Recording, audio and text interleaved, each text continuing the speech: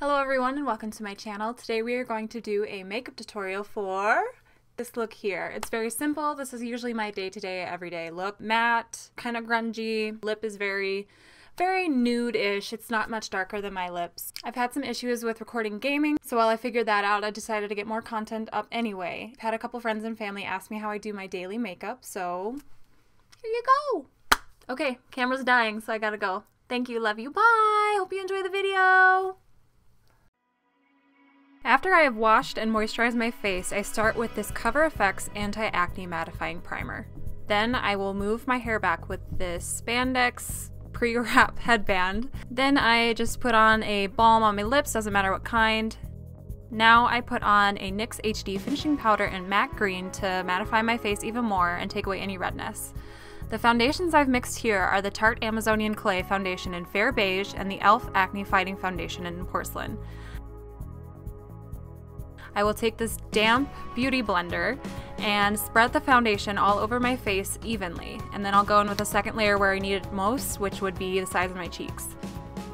The Wet n Wild Come Correct concealer in the second color will go underneath my eyes to help conceal any shadows or darkness that I have there.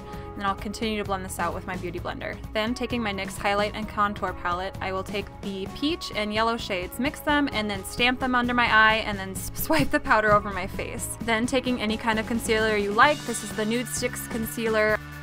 This is the e.l.f. Perfect Finish HD powder that will I will use to set everything. Then I take the Wet n Wild contouring palette in Dulce de Leche and I swipe this on my cheekbones, my temples, and then the sides of my nose and also the tip of my nose. Then I'll take this NYX Ombre Blush in Mauve Me. This is the first time I've used this product, but I really like it. I definitely could have gone a little more heavy-handed with it or blended it up a little bit more, but I also put that on the tip of my nose as well. Then I take this ColourPop highlighter in Lunch Money, which is super gorgeous, not super in your face, it's a nice kind of yellowish warm color, and then I will blend it out further with a brush. Moving on to eyebrows, I use two NYX Micro Brow Pencils in Taupe and Ash Brown. I use that taupe near the center of my face on the inner corners of my brow because it's lighter. And then for the edges of my brow, I'll use ash brown since it's a little darker and define my corners.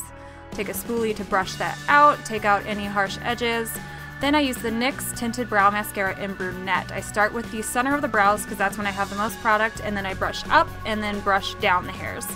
Set my face with Wet n Wild Photo Focus Setting Spray, and then we'll move on to eyeshadow once this is done.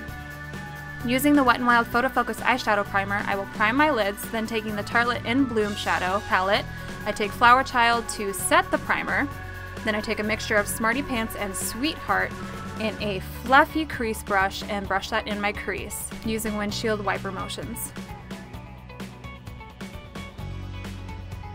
Then I take Rebel on a fluffy roundage eyeshadow brush that I got in an Ipsy bag and just kind of use this on the outside of my eye. Then I take an even smaller domed eyeshadow brush and sweep that underneath my eye in the same color. Then I go in with Activist, which is this nice dark brown with that same rounded shadow brush and just add that to the outer V and outer corner of my eye.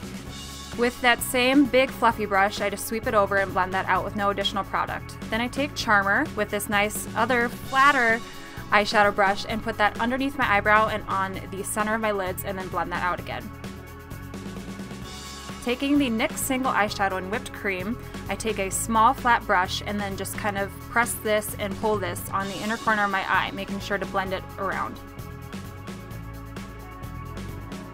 This is probably the hardest part for most people is doing liquid liner and doing a cat eye. There's not uh, tips that I can give you for this, not many that I can give you. Just practice makes perfect. I tend to do like the Pinterest kind of hack with that where you draw the triangle on the outside of your eye and then kind of sweep it into the middle or the inner side of your eye. As you can see I'm doing here. I start with the outside and then kind of sweep from the line on the eye out to the actual cat wing. Then just taking a fluffy brush, blend away a new product that may have fallen on my face, curl my lashes, and then apply the Too Faced Better Than Sex mascara. Then I take the ColourPop Cream Gel Liner in Honeydew and sweep that on my waterline. Then I take the Physicians Formula Organic Wear Work It Mascara on my lashes on the lower lash line. Wiping away all that chapstick I had on before, I put on the Milani lipstick in number 61 Matte Naked. It's a nice nude. It's like my lips but better kind of color. And there's the finished look. Thanks for joining me, guys.